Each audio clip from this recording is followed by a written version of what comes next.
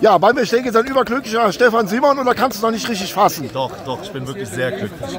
Gerade nach dem turbulenten Saisonverlauf, den wir jetzt hinten raus auch hatten, tut so ein Spiel natürlich mega gut. Äh, so Finale ist emotional gerade noch nicht greifbar, aber das wird halt irgendwann kommen. Ich bin einfach wirklich bombenglücklich, dass wir so ein Spiel endlich nochmal gewinnen konnten, mit aller Brisanz, die dazugehört. Hätte er nicht äh, ungünstiger starten können.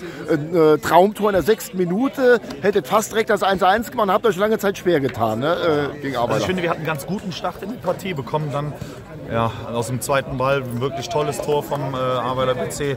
Hat er richtig gut gemacht, hatte mit Nico Lautwein noch gesprochen, äh, ob man den halten kann oder nicht, weil von uns sah er wirklich unhaltbar aus und er sagte auch, besser kann man den nicht platzieren. Tolles Tor und dann rennst du der Sache wieder hinterher. Ist auch gewohntes Bild aktuell für uns, aber dennoch, wir haben wieder Stärke, also auch Comeback-Qualitäten bewiesen. Hinten raus natürlich mit einem tollen Timing, kurz vor Schluss dieses Spiel für uns entschieden. Ich glaube, für die vielen Zuschauer, die da waren, war wieder einiges geboten.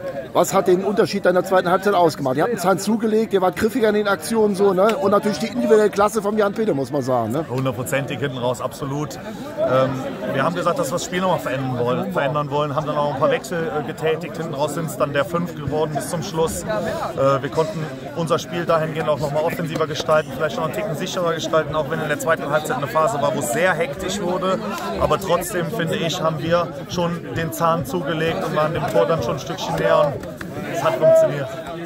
Was sagst du zu der Kulisse? Äh, Ich glaube, von so einer Kulisse hast du auch noch nie gecoacht, oder? Nee, absolut richtig. Mega geil. Ich bin dankbar um jeden, der hier war, wirklich jeden Zus- Zuschauer, aber auch um jeden Helfer, jeden Ordner, jeder, äh, der eine Frittenbude ausgeholfen hat. Im Vorfeld waren einige Tage vorher noch mit viel Planung. Äh, ich muss sagen, ich ziehe den Hut vor dem Verein, vor allen Helfern, aber auch vor der tollen Kulisse. Danke dafür. Ja, nur fünf Minuten war das Spiel für Fabian Reusch, kann man da schon was sagen? Fußverletzung oder was? Tut mir unwahrscheinlich leid für den Jungen, weil er wirklich auch eine Entscheiderqualität für uns hat. Ist wohl auch mit dem kompletten Sprunggelenk umgeknickt. Müssen wir mal schauen. Äh, Ich glaube, wir haben ein ganz gutes Ärztenetzwerk. Da werden wir mit Sicherheit unterkriegen. Ja, Finale in Koblenz. Äh, ist natürlich jetzt ein Auswärtsspiel, aber ist jetzt nicht so schlimm, oder? Scheißegal. Ich Ja. bin total froh, dass wir es haben. Äh, ist das, wofür man dann auch diesen Pokal irgendwo spielt? Wir haben immer gesagt, wir würden mal ganz gerne in diesem äh, Finale stehen. Jetzt machen wir das tatsächlich. Ich bin mal gespannt, wie die Organisation sein wird bezüglich letzter Spieltag und äh, Pokalfinale. Da wird ja mit Sicherheit jetzt in Kürze auch eine Entscheidung dann kommen. Aber ja, wir haben das Finale, das steht über allem.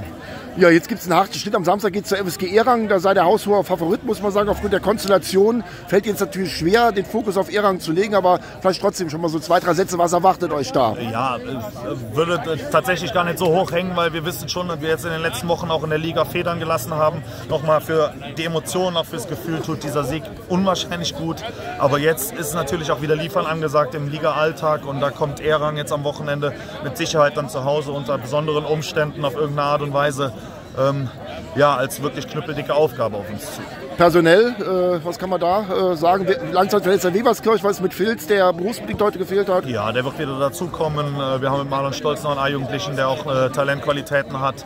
Ähm, Jonas Weberskirch wird noch als Langzeitverletzter ausfallen. Leider ist auch äh, ein herber Verlust über die komplette Saison. Fabian Reusch wird mit Sicherheit dann noch eng jetzt fürs Wochenende.